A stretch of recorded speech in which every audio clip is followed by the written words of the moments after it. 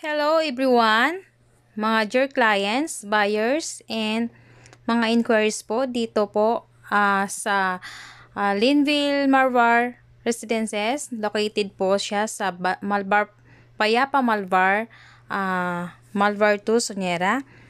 Uh, dito po sa harap ng school ng Payapa. Okay? So, ipapakita ko lang po yung i-discuss po natin ngayon ang about sa Linville Malbar.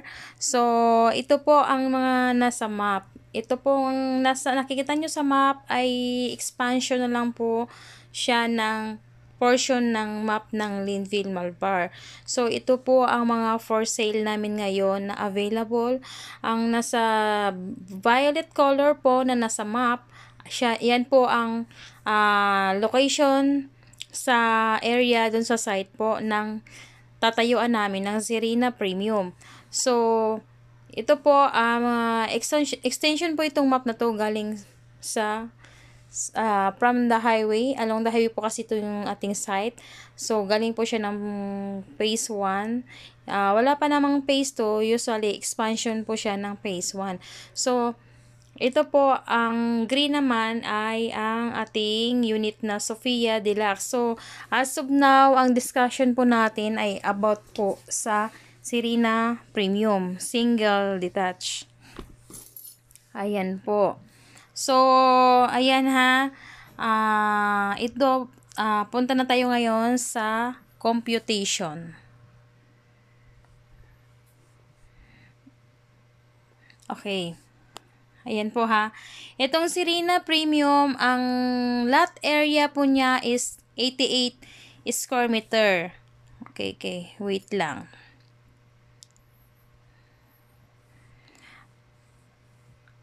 Okay, yan. 88 square meter po yung lot area niya na i-avail po na ng sakali kung halimbawa bibili kayo, uh, ah, 88 square meter po ang lot area.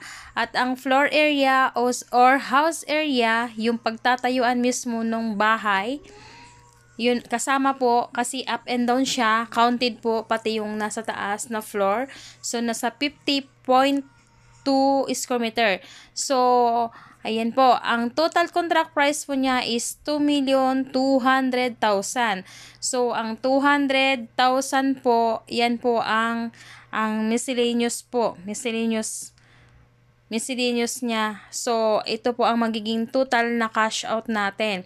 So, ang 200,000, uh, i-less po natin doon kasi ito yung, depende po kasi ang developer, meron po kasing nagle-less ng reservation fee at meron ding uh, separate po siya sa computation natin dito sa na naka detailed. So, ang 200,000 less po siya ng 6,000 for reservation fee Ayan, ang matitira po natin sa equity is 194,000 pesos na lang. So, ang monthly na naka-term dito, na makita nyo 10,777, yung 194,000, uh, payable pa kasi siya dito ng 18 months to pay. So, ang term kasi ng equity, uh, meron siyang, depende po kasi sa development ng site at saka sa block Meron po kasing 18 months, may 15 months, may 10 months. So, minsan nga merong 9 or ganyan 6 months. So, depende po. Kung sa time ng pagre-reserve ninyo, nag-avail kayo ng unit, kung ano lang po ang applicable dun sa block na kukunin ninyo, so mamimili na lang kayo dun sa block na uh, uh, kumbaga ay pasok dun sa sa kaya ninyong hulugan ng monthly sa equity. So, ito kasi naka-compute siya ng 18 months. Uh, bali, 10,777.78 sa loob po ng 18 months ang babayaran. So, ito kasi 194,000 deduction uh, divided by 18 months. So, let's say ay 194,000 um, i-divide siya Halimbawa, ano na lang siya, um, 12 months. Uh, sa loob ng 12 months, ay 16,166 in 12 months naman, yung 194,000. Uh, in 10 months, 194,000 divide 10. So, nagiging 19,400 po siya sa loob ng 10 months, halimbawa po, ang magiging equity. So, uh, okay, yun po ay depende po sa unit na kukunin ninyo. Kasi may mga terms po yan. Kasi may mga batch tayo for construction. Ayan. So, ito po ang proceed na po tayo dito sa magiging loanable amount natin. Ito po ang dinidiscuss natin ay through pag-ibig financing. So, sa pag-ibig financing po, ayan po, ito kasi ang uh, applicable na loanable amount is 2 million. Ito, 2 million na nakikita ninyo, yan po ang uh, loanable amount sa pag-ibig. So, in terms uh, of monthly amortizations, Ayan po. Uh, for 30 years to pay, kasi meron siyang 5, 10, 15, 20, 25, 30. Yan po, ito. E sa 30 years to pay, ito po yung 12,477,000. Tapos, sa uh, 20, uh, 25 years, um, 13,348 pesos. Sa 20 years to pay, ay 14,765,000 ah, pesos. Ah, ano na yan? 15. Ah, 15 years, 17,285 pesos. Sa 10 years po ay 22,583 pesos. Ayan po, sa 5 years to pay, 39,015 pesos po. Ang ang kanyang magiging monthly amortizations. Tapos, uh, meron siyang uh, monthly fire and, and mortgage redemption insurance. So, as low as, estimated po kasi lang ito. So, as low as 950 pesos po ang kanyang magiging monthly. So, minsan po ay uh, separate. Ang iba kasi separate yung hulog sa insurance. Ang iba naman ay ano na sinasama na sa monthly amortizations. Yun, para isasabay na lang. Okay. Ayan po ang ating um, mga ang ating price list. So, reservation fee po na 6,000. Uh, good for 1 month. After 1 month po, mag-start na tayo ng uh, monthly equity. Kung anong nakuha nating monthly equity, yun po ang ating susundin.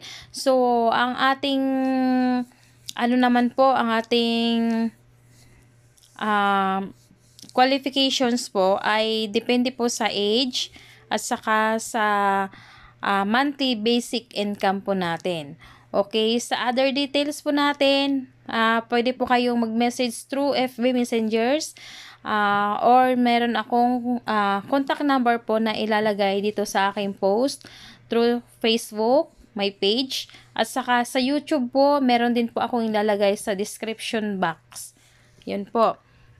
So, ipapakita ko lang sa inyo ngayon yung uh, unit na Serena Premium. Ang unit na Serena Premium po ay complete type na single uh, detach. Parang single detach na siya.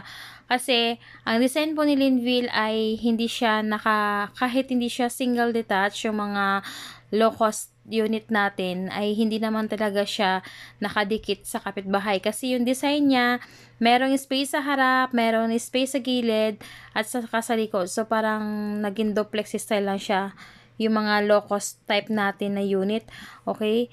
So itong single uh, Serena Premium po ay katumbas na po siya ng single detach. Okay, complete type unit turnover po siya. So ito po papakita ko sa inyo ang unit. Ayan. Wait lang. Ayan po. Ayan ang kanyang unit. Meron na siyang tiles. Meron siyang paint. Meron siyang uh, complete siya eh. Meron siyang nakakaisamina. Ayan. Kumbaga, uh, itong nakikita yung may gamit, ayan, yan lang po syempre yung wala. Kasi yung mga, in, ano yung tawag doon, um, pagka magpapa-interior design kayo ng bahay nyo, yan po, magiging ganyan. Ayan. So, ito po, ayan. Nakikita nyo lang yung magiging turnover niya. May tiles, may paint, ang wall at saka yung ceiling niya. Ayan po. Saka meron na rin siyang syempre line ng mga electrical, water. So ito po ang ang unit ni Sirina Premium sa labas. Ayan po. So may mga space siya sa bawat gilid po, harap at likod. Ayan. Ayan po. So ito, ito ang kanyang Ayan. Yan po ang suggested interior design. Ayan.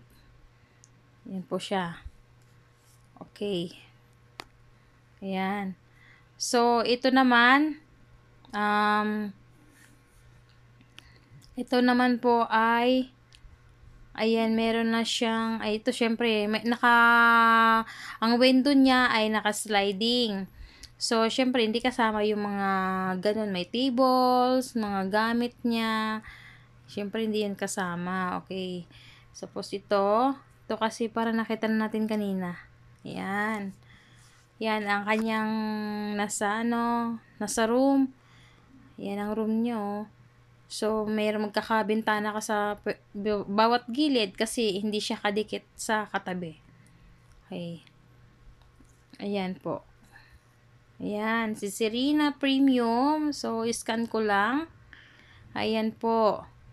Ayan, si Serena Premium. Maganda po siya. I-avail nyo na.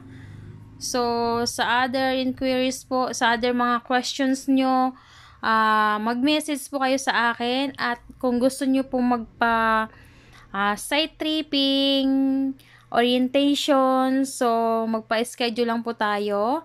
Mag-message po kayo ahead of time ng schedule po eh, ano natin, para ma, makapag-adjust din po tayo para sa ibang trippings din po na nagpapa-schedule.